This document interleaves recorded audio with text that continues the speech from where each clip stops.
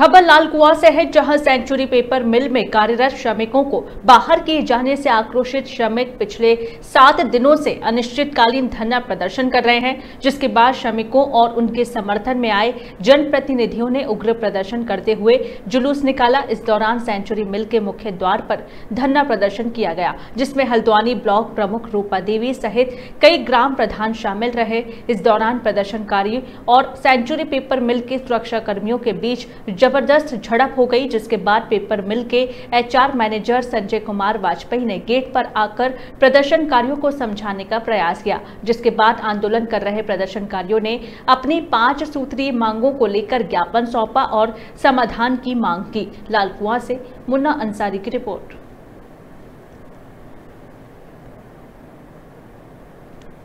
ज्ञापन देने आए थे।